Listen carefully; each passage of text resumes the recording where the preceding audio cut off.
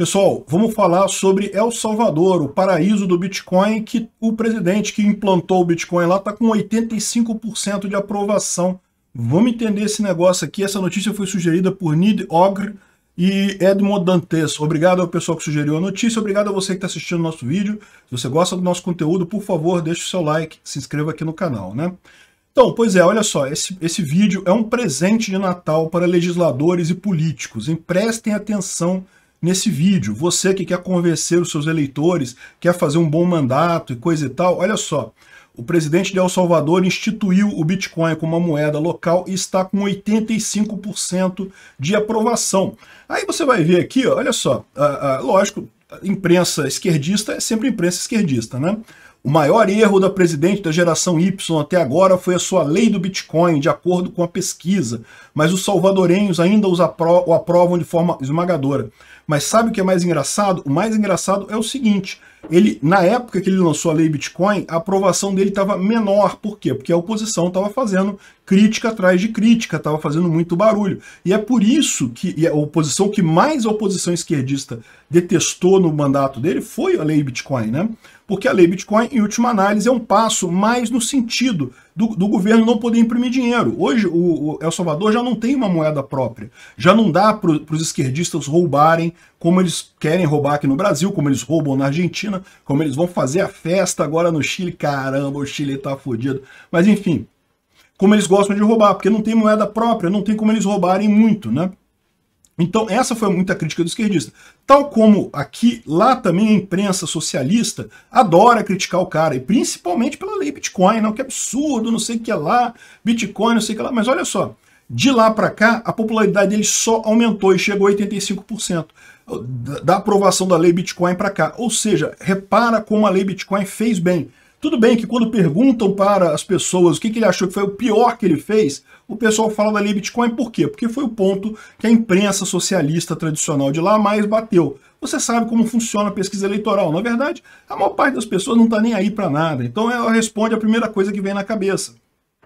E foi a lei Bitcoin. Não, o que, que você não gostou do governo dele? Não, a lei Bitcoin. Agora, o fato é, o que ele está fazendo, está fazendo direito. Porque, é, olha só, no ponto de vista interno, isso é uma excelente decisão está trazendo muito recurso de fora e principalmente como uma, uma propaganda para o exterior, como uma colocação do país no mundo, é uma coisa fantástica. O que você ouvia falar de El Salvador até, até um tempo atrás era só pobreza, miséria, gente migrando para os Estados Unidos. Agora você ouve um monte de iniciativa de pessoas querendo ir dos Estados Unidos para El Salvador porque tem o Bitcoin lá. Um monte de iniciativas crescendo lá dentro. Eu mesmo estou com vontade de ir para lá, vou ser sincero com vocês. Estou cogitando seriamente mesmo, porque não sei, né, do jeito que está indo essa, é, é, o governo aqui no Brasil, nunca se sabe o amanhã e, sinceramente, eu quero viver num lugar livre. Eu não faço questão de ser rico, não, mas quero viver num lugar livre.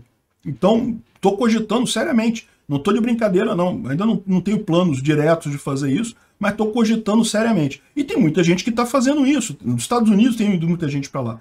Então você, tem, você vê realmente o, o, o, fluxo, principalmente o fluxo de capital intelectual, de gente que quer é, construir coisas, que quer fazer coisas indo para Salvador, para El Salvador. Então realmente é uma coisa extremamente bacana. E, e, essa aprovação alta só reflete isso.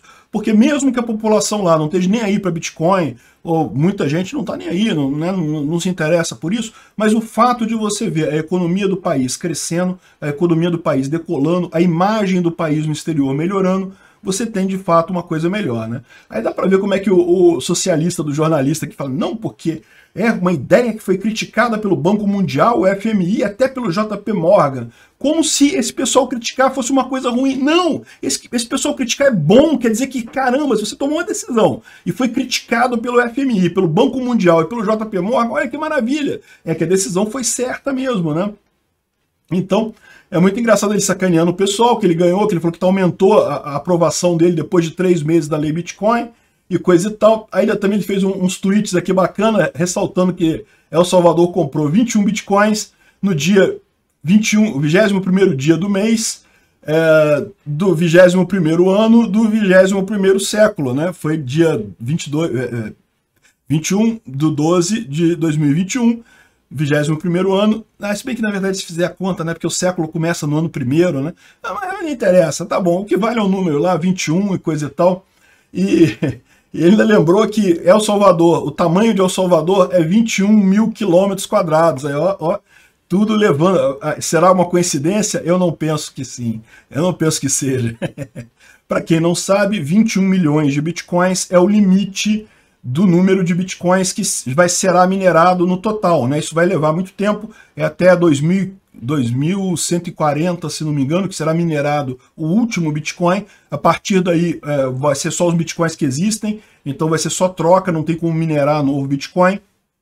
Mas é, já estamos perto disso. Embora, embora só vá terminar a mineração em 2140, já foram minerados, se não me engano, tá? depois você dá uma pesquisada para ver se o número é esse mesmo, mais de 18 milhões e meio de Bitcoin. Então, assim, o, o máximo total vai ser 21 milhões, já estamos em 18,5 então estamos perto já do final, não tem mais muita coisa para ser minerada, porque você sabe como o Bitcoin ele tem os halvings, né? Cada vez que você minera, você minera menos, né? Cada, cada intervalo de quatro anos mais ou menos, você tem um halving que é, entra menos Bitcoins, é, a mineração diminui o valor dela.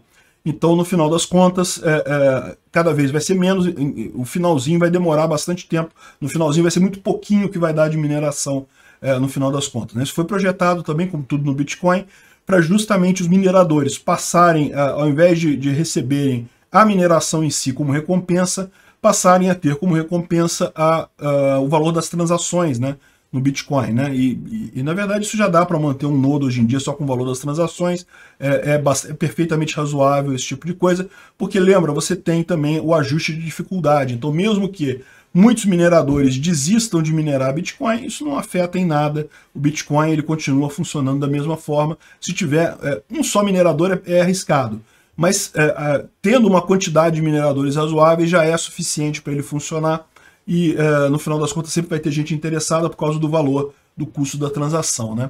Então, muito bacana como é que tá a coisa lá em, em El Salvador. É lógico não é perfeito, gente. Vai ter defeitos, vai ter problemas, todo mundo sabe, não tem como fazer um negócio perfeito assim, mas olha só, dica para político aí, olha só. Caminho é esse, joga esta porcaria de real no lixo e vamos adotar o Bitcoin aqui no Brasil também, tá mais do que na hora de fazer isso. Obrigado por sua audiência. Se gostou do vídeo, por favor, deixe o seu like e se inscreva no canal para aumentar a relevância dele no YouTube. Assim, mais pessoas terão acesso às ideias da liberdade. Considere clicar no sininho e pedir todas as notificações para ser avisado de novos vídeos. Se quiser contribuir sugerindo notícias, vá em nosso site ancap.su, cadastre seu usuário, clique em sugerir pauta. Basta colocar o link da notícia, escolher a melhor foto e confirmar. Se quiser contribuir com o canal financeiramente, veja as formas de apoio nos links da descrição do vídeo. Contribuindo, você pode fazer parte do Discord dos patrocinadores. Se quiser camisas com a marca do canal, veja nossa loja no site pimentanocafé.com.br barra visão libertária. O link está na descrição do vídeo.